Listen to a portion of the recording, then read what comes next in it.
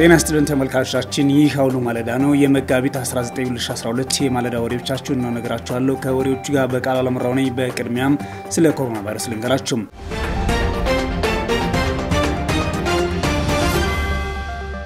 የኮሮና ቫይረስ በዓለም አቀፍ ደረጃ 27365 ሰዎችን ይህ ዜና እስከተጠናቀረበት ጊዜ ድረስ ገድሏል። 597267 ሰዎች ደግሞ በቫይረሱ ተለክፏል የተባለው በዓለም አቀፍ ደረጃ በርካታ ዜጎች በቫይረሱ በመያዝ አሜሪካ ቀዳሚነቱን ይዛለች። በዚህም 104205 ዜጎች እስካሁኑ ደቂቃ ድረስ የተያዙባት አሜሪካ 1701 ሰው ደግሞ በቫይረሱ ሞቶባታል። በኮሮና ቫይረስን በመነሻነት የተጠቀሰችው ቻይና 81394 ሰዎች ሲያዙባት እስካሁን የሞቱባት ግን 3295 ሰዎች ብቻ ናቸው።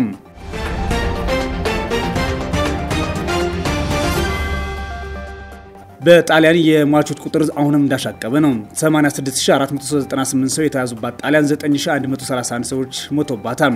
በአጠቃላይም ከተያዙት ውስጥ 10950 ሰዎች ተመልሰው ያገገሙ መሆኑ የዓለም መረጃዎች ያሳያሉ።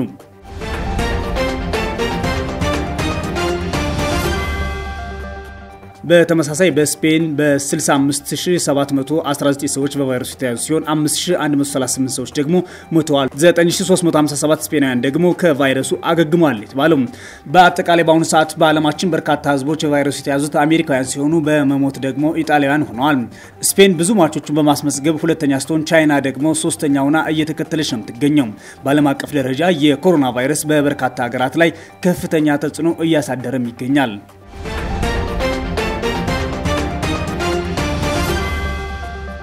ሻለቃ አትሌት ኃይሌ ገብረስላሴ ሶስት ድርጅቶችን ኮሮናን ለመከላከል ለሚደረገው ጥረት የ1.5 ሚሊዮን ብር ድጋፍ እንዳደረጉ ተነገረ። ኃይሌና ዓለም ኢንተርናሽናል ማራቶን ሞተርና ታላቁ ሩጫ በኢትዮጵያ የኮሮና ቫይረስን ለመከላከል በመንግስት እየተደረገ ያለውን ጥረት ለማገዝ በጋራ የ1.5 ሚሊዮን ብር ድጋፍ አድርገዋል የተባሉት ኮሮና ቫይረስን ለመከላከል በጠቅላይ ሚኒስትር ዶክተር አብይ አህመድ የተቋቋመ ብሔራዊ የድጋፍ አሰባሳቢ ኮሚቴ ስራ መጀመሩም የሚታወስ ነው። ይህንን ተከትሎ የድርሻችንን እንወጣ በሚል ኃይሌና ዓለም ኢንተርናሽናል ማራቶን ሞተርና ታላቁ ሩጫ በኢትዮጵያ የ1.5 ሚሊዮን ብር ድጋፍ ለአሰባሳቢ ኮሚቴው ሰጥተዋል የተባለው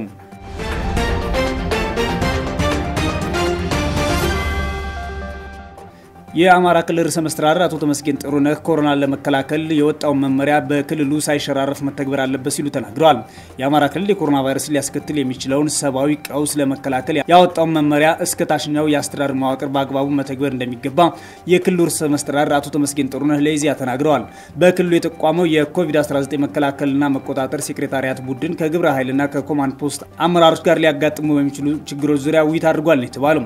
ርዕሰ መስተዳድሩ በዚህ ወቅት እንዳሉት ከሆነ በክልሉ የመንግስት ተቋማትና የልማት ድርጅቶች የኮሮና ቫይረስን አስከፊነት በመገንዘብ አደጋውን ለመቀነስ በሚያደርጉት ጥረት የሴክሬታሪያቱ እገዛ ሊጠቀሙበት ይገባል ብለዋል።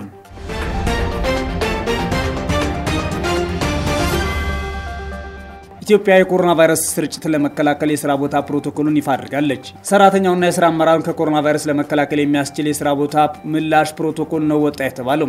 የሰራተኛና ማህበራዊ ጉዳይ ሚኒስቴር ዶክተር ኤርጎጌ ተስፋዬ በፍጥነት እየተስፋፋ በመጣው የኮሮና ቫይረስ ምክንያት የአሰሪና ሰራተኛ ግንኙነትን እንደ ወትሮው ማስቀጠል ፈታኝ መሆኑን አንስተዋል።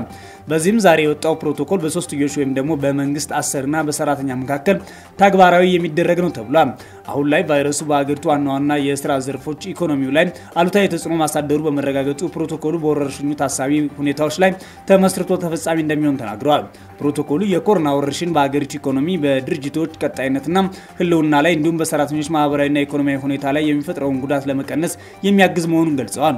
የስራ ቦታ ምላሽ ፕሮቶኮሉ በመሰረታዊ የስራ ቦታ የቫይረሱ መከላከያ ስልቶችና አሰሪና ሰራተኞችን በተመለከተ ደረጃ በደረጃ ሊወሰዱ በሚገባቸው ህጋዊና አስተዳደራዊ እርምጃዎች ስር አሰሪና ሰራተኞች እንዲሁም የደህንነት ኮሚቴ ሊወስዷቸው የሚገቡ ጥንቃቄዎችና ዝርዝር ነጥቦችን የያዘ መሆኑን ጠቅሷል። ፕሮቶኮሉ የኢትዮጵያ ሰራተኛ ማህበራት፣ የኢንዱስትሪ አሰሪዎችና የአሰሪዎች ኮንፌዴሬሽን ፕሬዚዳንቶች በተገኙበት ነው የጸደቀው።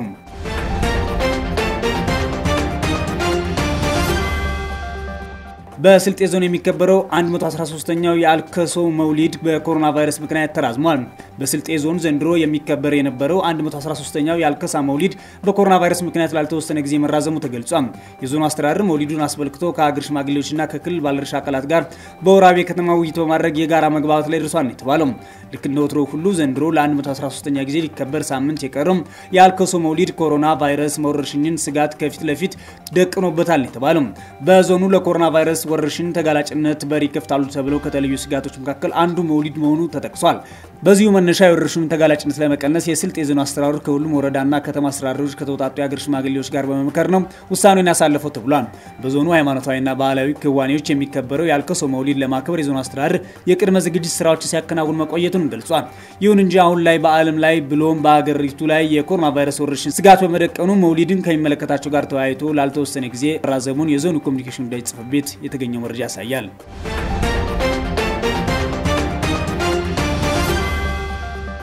የዓለም የጤና ድርጅት ዋና ዳይሬክተር ዶክተር ቴዎድሮስ አዳኖም የኮሮና ቫይረስን ለመግታት ሰዎች እንቅስቃሴ መገደብ ብቻ ሳይሆን መለየትና መመርመር ላይ ትኩረት ማድረግ አለባቸው ብለዋል። የኮሮና ቫይረስ ስርጭትን ለመግታት ሰዎች እንቅስቃሴ መገደብ ብቻ ሳይሆን መለየትና መመርመር ላይ ትኩረት ማድረግ እንደሚያስፈልግ የዓለም የጤና ድርጅት ዋና ዳይሬክተር ዶክተር ቴዎድሮስ አዳኖም አጽንኦት ሰጥተው ተናግረዋል። ዶክተር ቴዎድሮስ አዳኖም ባስተላለፉት መልእክት የተለያዩ የዓለም ሀገራት የኮሮና ቫይረስ ስርጭትን ለመግታት ዜጎቻቸውን ከቤት እንዳይወጡ የማድረግ እርምጃ እየወሰዱ መሆኑን አጽንኦት ሰጥተው ነው የተናገሩት። ሆኖም ግን ሀገራት በግላቸው እየወሰዱ ያሉት የዜጎች እንቅስቃሴ የመገደብ ውሳኔ ብቻውን የኮሮና ቫይረስ ወረርሽኝ የመዛመት ፍጥነት ለመግታት በቂ አይደለም ነው ያሉት። ዶክተር ቴዎድሮስ ሀገራቱ ይህንን አጋጣሚ ተጠቅመው ኮሮና ቫይረስን ማጥቃት አለባቸው ያሉ ሲሆን ይህንን ለማድረግም ሁለተኛ እድል እንደተፈጠረላቸው ገልጸዋል። አሁንም ቢሆን ማፈላለግ፣ መለየት፣ መመርመር፣ ማከምና መከታተል ላይ ሀገራት ቁርጠኛ ውሳኔ አሳልፈው መስራት ይገባቸዋል ያሉ ሲሆን ይህም ኮሮና ቫይረስን ለመዋጋት ፈጣንና ተመራጭ መንገድ ነው ሲሉም ገልጸዋል። በተለይም ማፈላለግ፣ መለየት፣ መመርመር፣ ማከምና መከታተል ደካማ የሆነ የጤና ስርዓት ላላቸው ሀገራት የተሻለና ተስማሚ አማራጭ መሆኑን አስታውቀዋል። ዶክተር ቴዎድሮስ አክለውም ለኮሮና ቫይረስ ተጋላጭ የሆኑ ሀገራት ያሳስቡናል፣ ሁሉም ሀገራት በእድሜ የገፉትን ጨምሮ ተጋላጭ የሆነ ህዝብ አላቸው ሲሉ አጽንኦት ሰጠው ነው የተናገሩት። ዶክተር ቴዎድሮስ ለኮሮና ቫይረስ ተጋላጭ የሆኑትን ለመጠበቅና ፍላጎታቸውን ለማሟላት በጋራ መስራት ያስፈልጋል ሲሉም ተናግረዋል። ተመልካቾቻችን የዛሬ አውሎ ማለዳ ዜናዎቻችን እነዚህ ነበሩ። ከዜናዎች ጋር ቆይታ ያደረኩት በቃሉ አለምራኔ መልካም ጊዜ እመኛለሁ።